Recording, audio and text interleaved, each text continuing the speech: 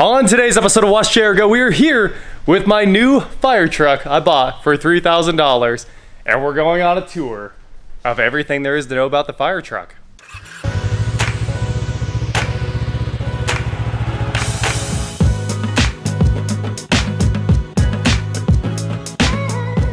What is going on guys? I am Watch Go and today we are here with my 1977 Mack CF 600 fire truck.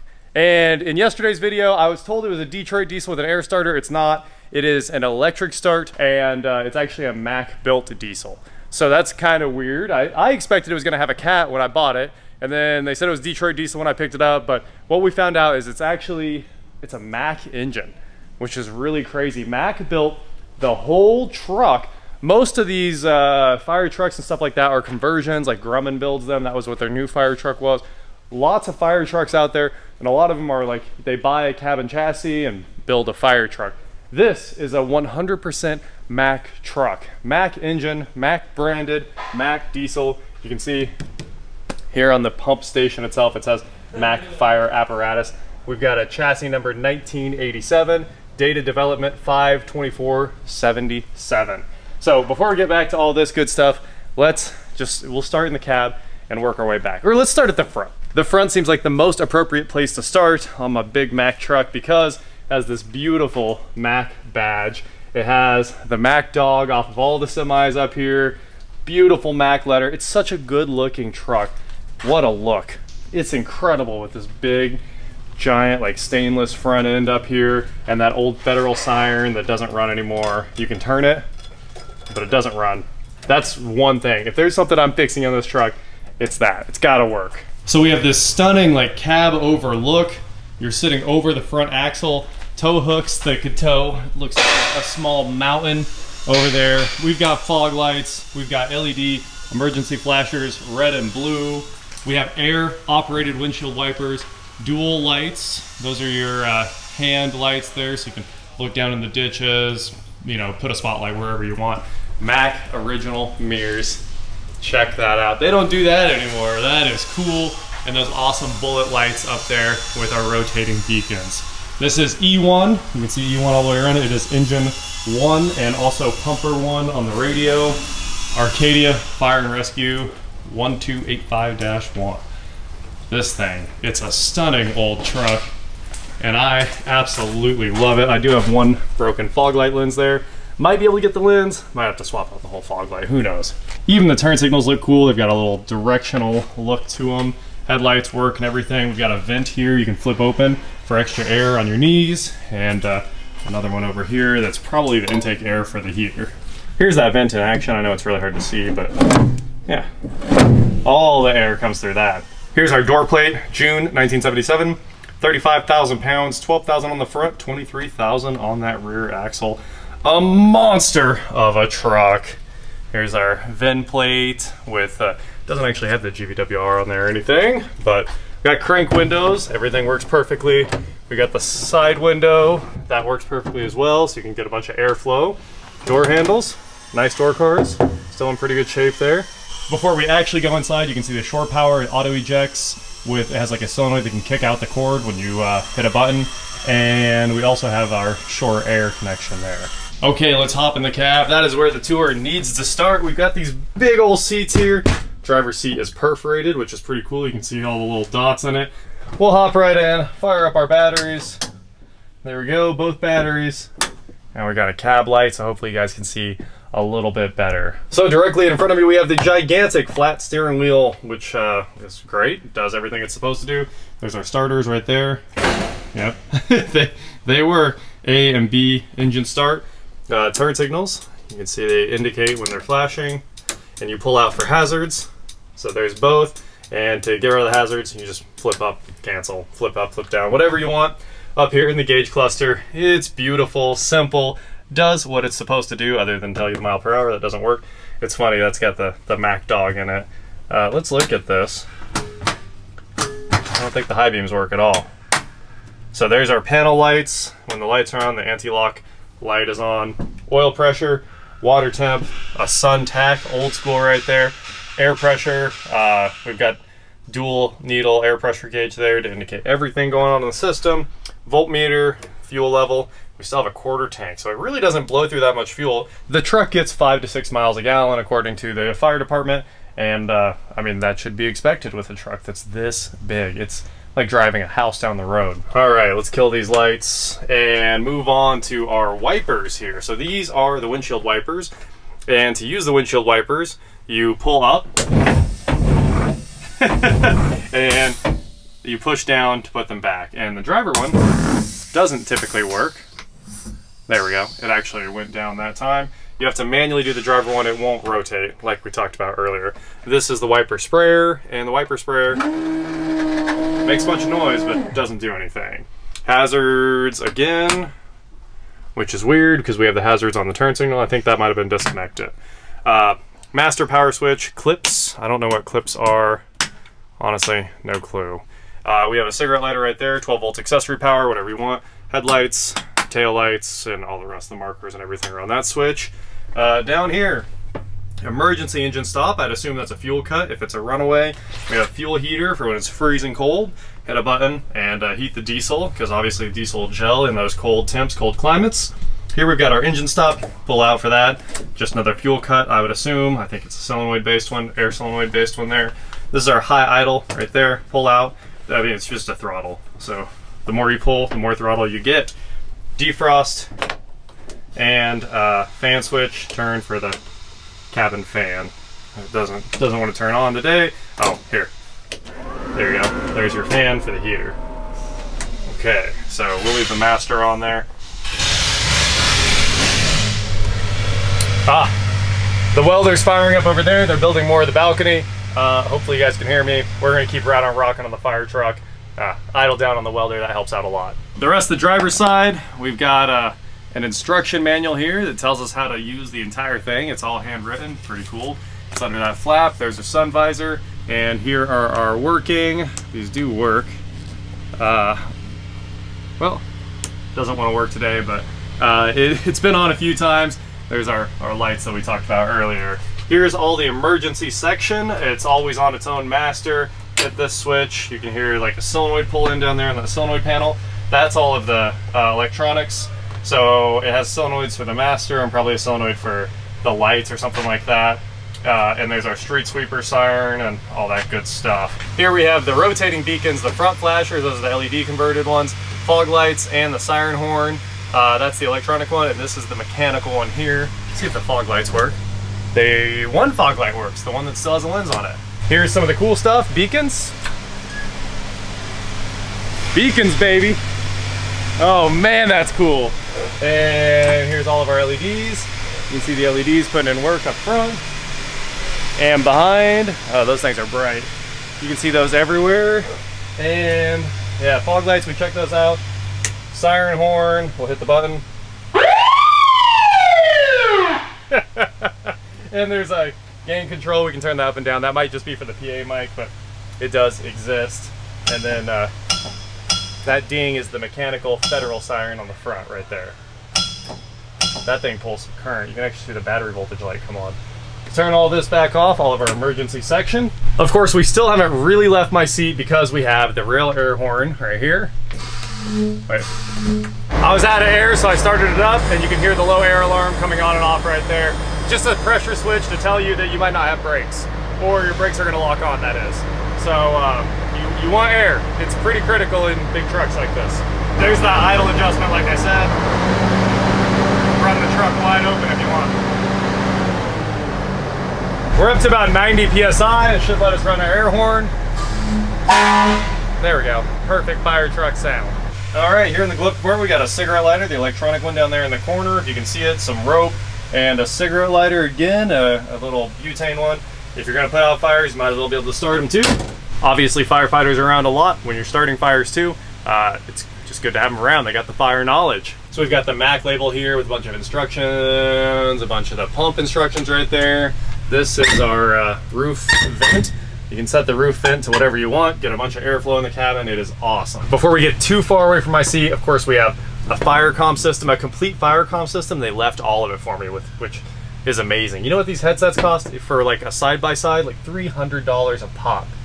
And these have uh, push to talk, uh, volume settings per headset. Like it is really cool. And it's in here for all four seats and there's an exterior hookup as well. So you can grab like this headset. It looks like they lock it. No, they don't. You can actually go plug this in beside the pump controls and uh, talk to the whole cabin while you're like hanging off the side of the truck or whatever you want. So you've got comms everywhere you need in the truck. Super cool. Down here we have the gear shifter. It's an automatic. This automatic rocks. It got us home like no problem. Super easy to drive. PTO controls right here. You uh, put this thing in neutral, throw on the PTO, like back to drive, and uh, you can kick in your PTO and run the pump. Here's our federal siren controls right there.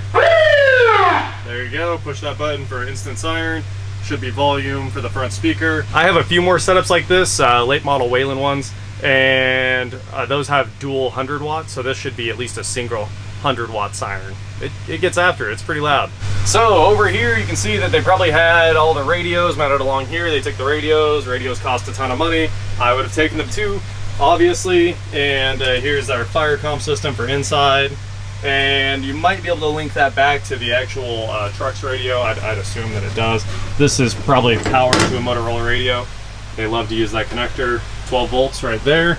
Uh, here's the heater hanging out right here. A grab handle for when things get wild and that big Streamlight flashlight, the big explosion proof one that like slides in here and it charges right there.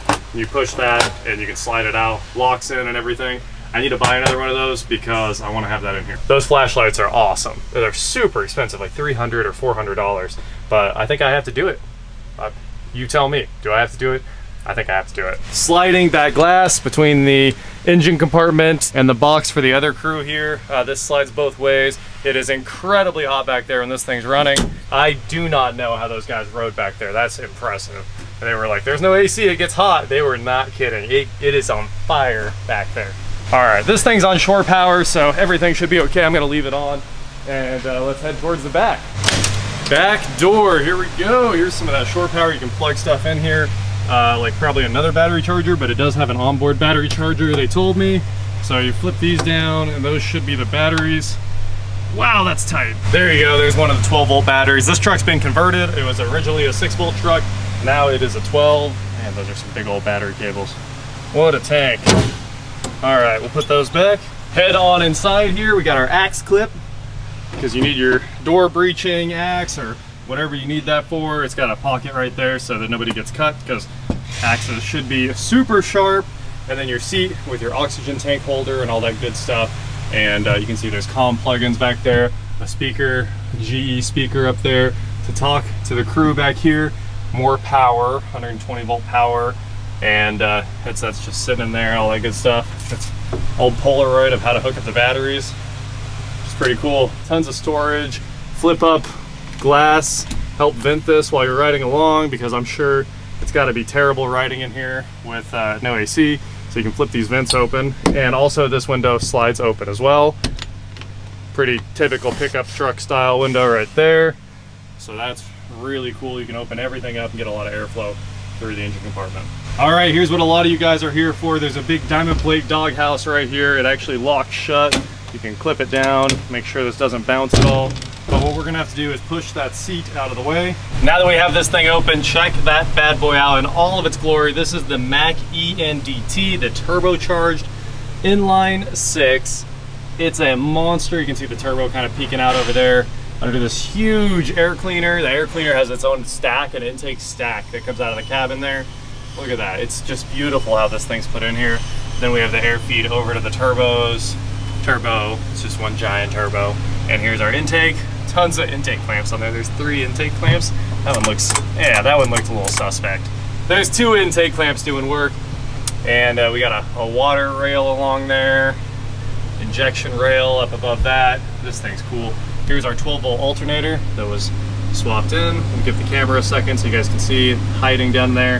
High voltage alternator, and then there's one of those massive starters right back there. That thing is huge transmission starts here and goes on back. It's also gigantic. There's so many solenoids on this thing. I mean, those are probably starter solenoids. They're gigantic. And then there's another starter solenoid on top of that thing that's also gigantic. Everything's huge on this truck. Everything is huge. The cool thing is you can kind of just stand back here and actually service this thing. A lot of this truck. You don't have to get underneath it. And I did know for a fact that I was never getting underneath this truck because it weighs so much. 33,000 pounds. I mean, I know those 10K lifts are probably underrated a bit, but I'm not lifting this up.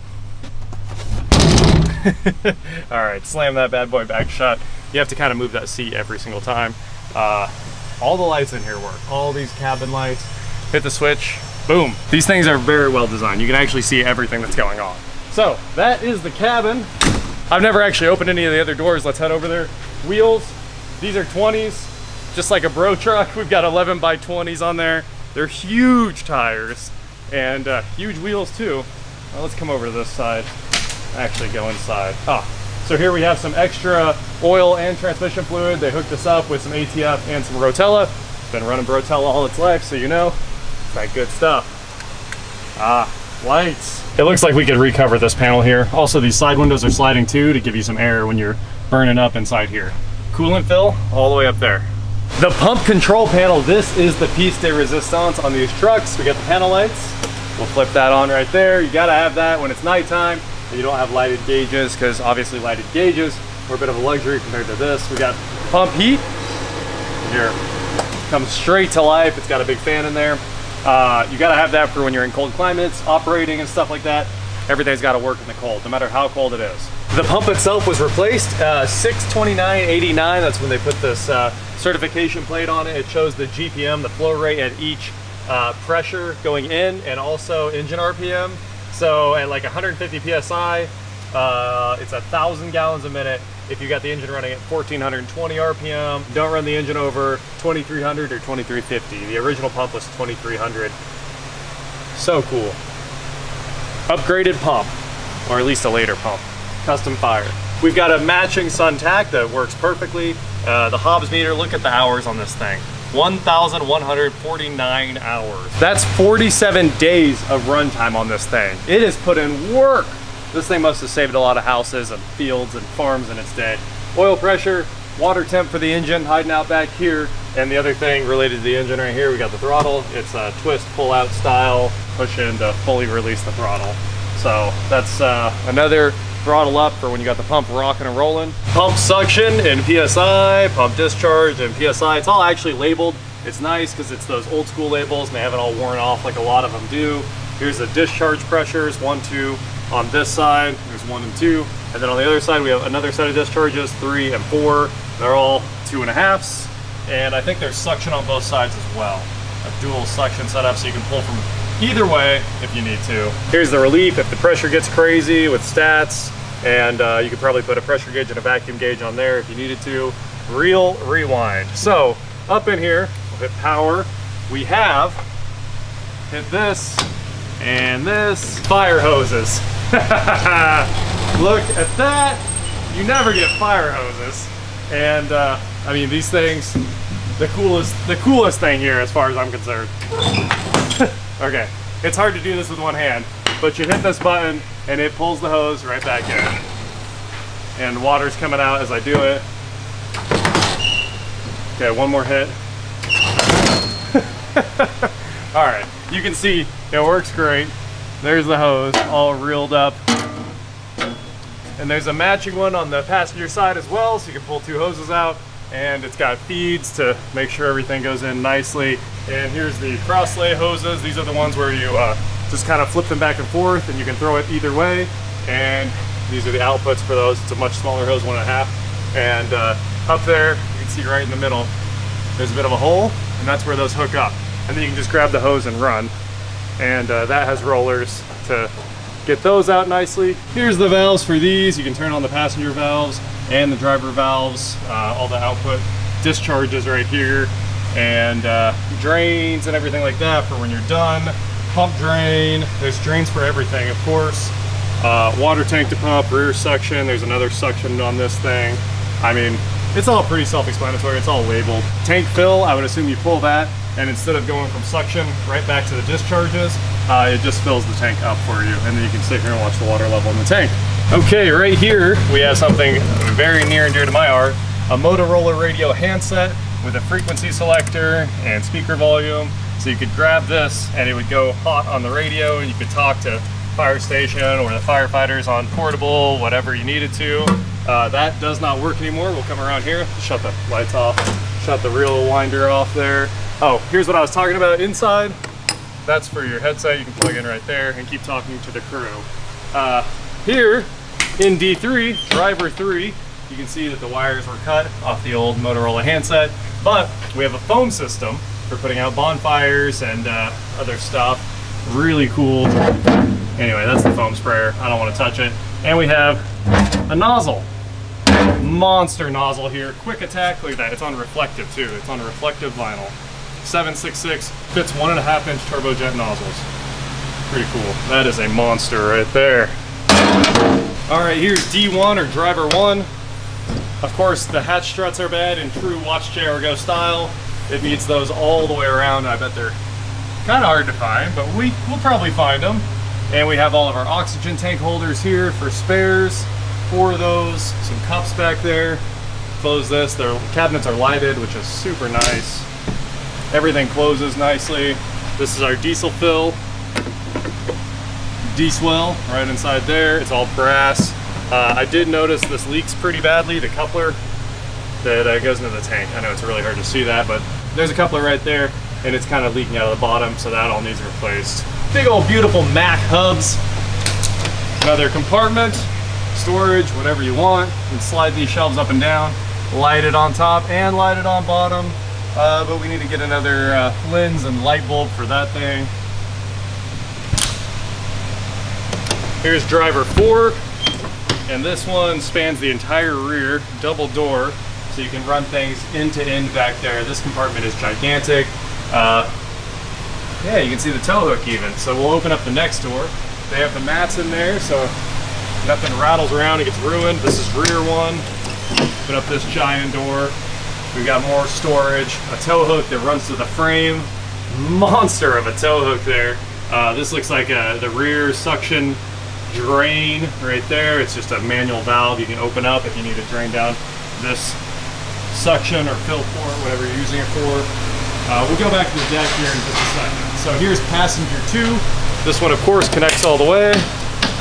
My brother wants me to get ladders for this thing, and he's probably right. Look at all this foam. There's tons of foam for the foam system in here. And then Sun Prairie Fire Department. They must have been the owner before Arcadia. Obviously, lights, straight through storage. Tons of storage in this thing. Tons of storage. Okay, here's passenger one. And the light is not working in this one. Might need a bulb, but she's got a bunch of storage in there. And our passenger side pump control is much simpler. The two discharges, the valves are on the other side. Drains over here and another suction. Uh, big old lever for open and closed for that valve right there. And uh, this is another like main tank connection there. Here, you can look inside and see the actual pump. So there you go. There's our PTO driven pump. That thing is huge so cool. And there's all of its connections to the tank. And you can see back into the engine right up front. Got the lights on up there still. Nope. Weirdly, it looks like the engine compartment lights are just staying on. The passenger side rear winder control, so you can roll your hose back, hit that button. Obviously, you guys saw it work on the other side. I'm not gonna do it over here. And uh, steps up the cab to get to your cross-lay hoses. Here's our ladder setup right here. I'm gonna close all these doors. And then you hop up here on the back. We've got stairs on both sides, also dual tone reverse beepers. So there's one over here and one on the other side, and uh, they beep at different times because they're just random, and it gives you like a nice dual tone. You really know something's coming. Here we have switches up here. That one's burnt out, but here's our uh, area, floodlights, whatever you want. They do work. They do work. Welder shut down. It looks like uh, we might have like a teak floor up here for the hose storage and whatever else we got going on. Uh, here's the water feeds to the hose reels. You can see them come out and out of the pump and up to the reels. And then here is our tank fill. You can see right down into the, the tank a little bit there. Close everything back up. The top of the truck is artwork as well with our flip up vents. And then there's the intake and air horn, beacons, all that good stuff. Antenna for the radio. You can see they had labels for what goes where. 400 foot of 1.5 inch hose and 400 foot of 2.5 inch hose. All these lights work, all the LED flashers work. I mean, everything works on this thing. It's cool. More stairs, climb up wherever you need to. So that is basically a complete tour of a fire truck. Most fire trucks are pretty much like this. They all need to be kind of the same, right? Little differences here and there. Obviously all the newer ones have technology and more power and they're turned up and do more four-wheel drive. Sometimes this is an old two-wheel drive dually. Uh, it's a tank, it's great.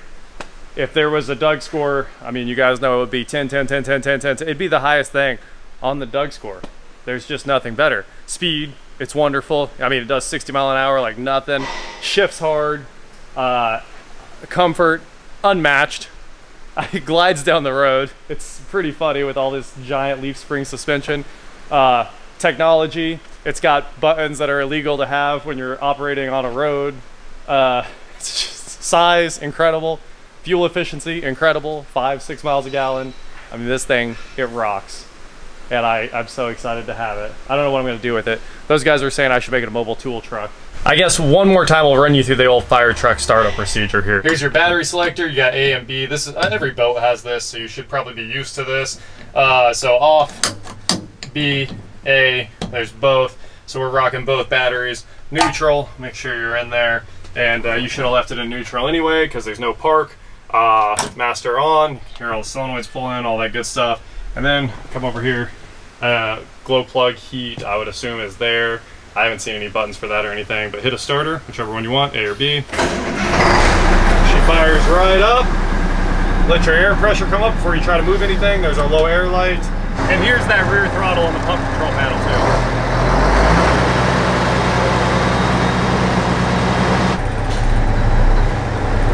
Okay, there, there goes the pump. You heard it engage.